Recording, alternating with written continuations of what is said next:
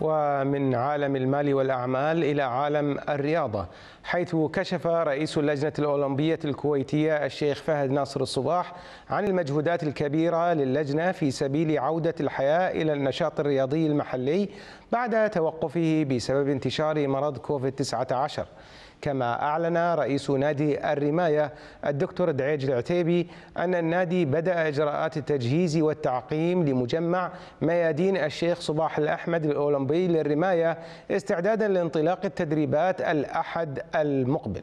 المزيد من التفاصيل والأخبار الرياضية تأتيكم في هذا التقرير.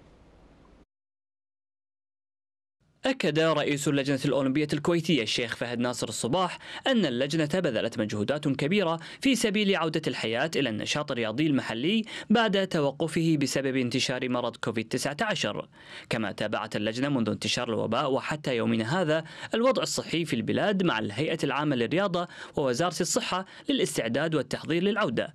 ما أثمر اتخاذ إجراءات صحية واشتراطات احترازية لمزاولة التمارين الرياضية التي ستبدأ مطلع الأسبوع المقبل وفقا للاشتراطات الصحية.